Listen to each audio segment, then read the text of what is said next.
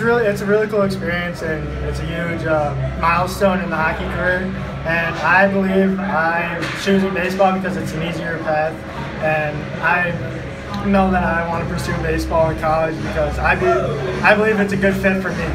Uh, playing baseball in college and playing all through the summer and progressing from there has been really cool, and I just can't wait to see where it's going to go from there.